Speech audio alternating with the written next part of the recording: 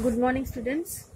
Take your Radiant Reader book, open page number 106.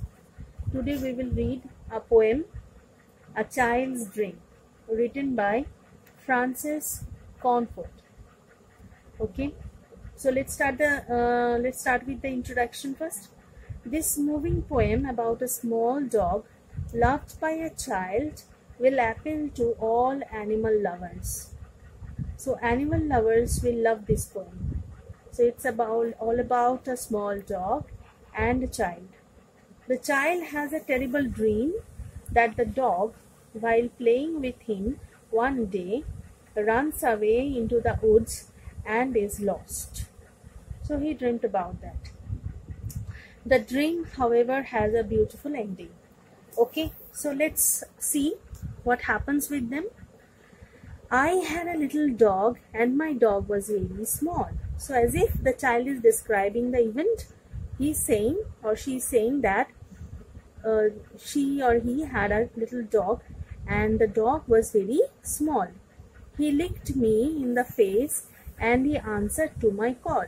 We all know and uh, we all are quite aware that this uh, dog is a very faithful animal and when we um, uh, keep them in with us in our house.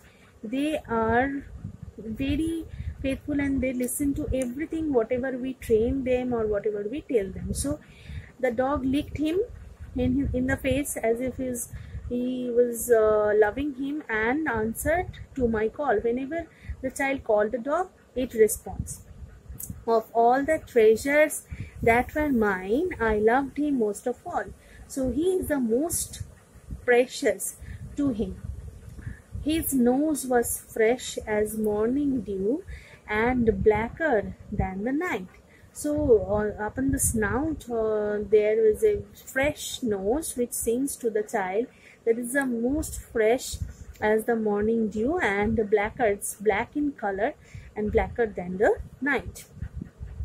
I thought that it could even snuff the shadow and the light as if shadow and light plays over it.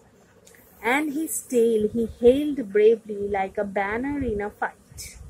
So he quite proudly held his tail like a banner. Whenever uh, there is a fight, we often saw in the um, fights of history or even in a movie, we often saw that uh, banners are held tightly by the soldiers, and he's held, held he held his uh, tail quite tightly.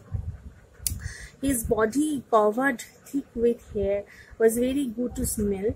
We can notice one thing that the child is very much uh, in love with this animal because he uh, describes the animal and by his description we can make out that he loves his dog very much and everything about the dog is quite um, good to him and quite beautiful to him. His little stomach underneath was pink as any shell. So the skin of the stomach is pink in color, which is uh, very beautiful to look at. And I loved uh, him and honored him more than words can tell. So he is not capable of describing him with words. Okay, because he loved him so much that is why he honored him also. Whenever we love someone that means we honor him also. If we don't honor him that we can't love him. Okay. So he is describing in this way that this is a very precious and lovable thing to him. And he can uh, be a part with this precious animal. And it is a part of life of him we ran out in the morning. So together they ran out in the morning. Both of us to play.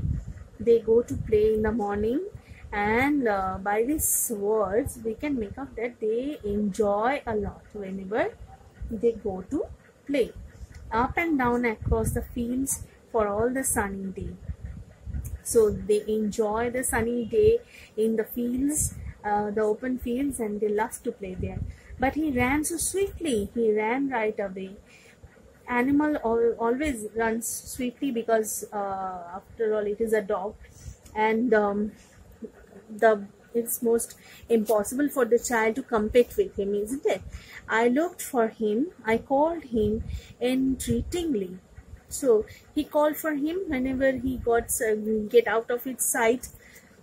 Mm, alas, the dandelions could not speak. Dandelions, flower, it's a kind of flower that blooms in the fields, open fields. And uh, whenever he was not able to see him, whenever he hides him, whenever the animal hides himself, so uh, the dandelions were there and they were not able to speak and they don't uh, if they had seen the dog to go it was not possible for them to tell the child that your dog is over there isn't it if they could speak it would be better for him to find the dog.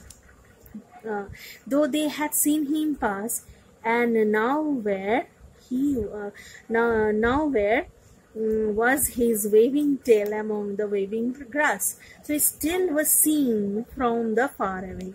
And whenever he uh, whenever the child is capable of see to see the tail he must be rejoiced.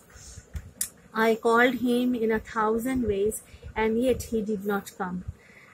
As if it is playing with him the dog was playing with him okay? And uh, whenever two childs or two friends play between themselves they play hide and seek. And uh, when uh, one friend hides and he didn't uh, tell anything or didn't give any kind of sound because his friend will definitely find him with his sound. So as if like a human being the dog was playing with him. The pathways did not come the pathways and the hedges were horrible and dumb. So everything seems to be horrible to the child because he had lost his dog that is why and he don't know uh, how to find him. And he uh, was quite um, afraid about the incident. I prayed to god who never heard and god who never heard. So he is quite hopeless here. We always some we always find it uh, hopeless whenever we are in distress whenever we are in uh, in a great problem and we pray to the god and everything goes wrong with us we find this kind of thing in our life also that god who never heard my desperate soul grew numb. So the child was quite afraid of the incident that uh, the god is not hearing to me and how can i uh, find the dog. The sun sank low. The sun is setting and that is why it's uh, very dark in the forest uh, or in the field. So how can he find the dog? I ran, I prayed, if God has not the power. Next page, to find him, let me die. So he didn't want how much he loved his dog that he didn't want to leave a single minute without him a single minute without him. That is why he wished to die if he didn't uh, find him anymore. So I cannot bear another hour. Another hour. He cannot bear another hour. That means he cannot stay without his dog for an hour also. So how much he loved his dog that he feels so horrible and so distressed when he lost his dog when suddenly I came upon a great yellow flower, and all among its petals, such as heaven's grace. In that golden hour, in that golden place, all among its petals was his hairy face. So, it's the happenstance that he came upon a great yellow flower. It's a big yellow flower. He was uh, trying to find his dog and he came to a big yellow flower and this uh, flower was full in bloom and uh, his, its petals were very beautiful to see as if it's heaven's grace. It's the grace of the god and by the grace of the god he was able to find out his dog in the amidst the flower. So there is golden hour. The hour seems to him golden because in that golden and precious hour he was able to find his precious friend or the dog. In that golden place, all among its petals was his hairy face. Its hairy or furry face he can find out among in the flowers. So, at the last, he was able to find out his dog. But students, it is not truth. It is his dream. He dreams in his uh, when he go to sleep. He dreams that he had lost his dog, and by this dream he was quite afraid. And when he wakes up, I think he should pray to the God that I uh, it never comes. This kind of incident never sh- should never come to my life. Okay so that kind of animal love we can find in this poem okay so read this poem learn and enjoy this poem okay. thank you